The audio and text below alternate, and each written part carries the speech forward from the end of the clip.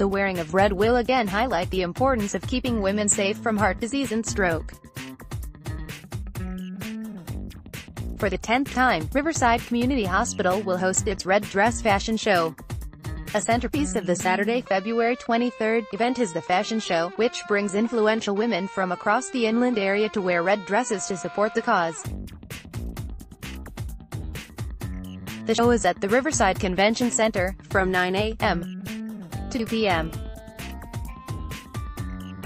The event aims to educate women on the symptoms, risk factors, signs, and warnings of heart disease and stroke that present themselves differently in women than in men, the release states.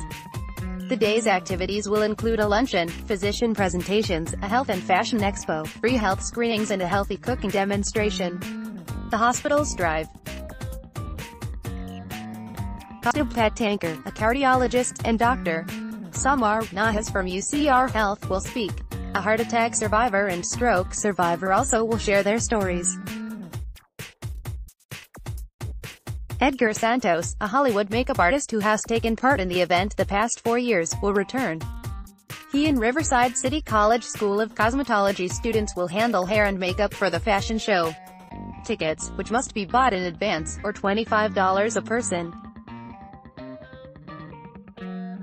Information, 951-788-3463 or www.artredressfashionshow.com. Get the latest news delivered daily. Subscribe.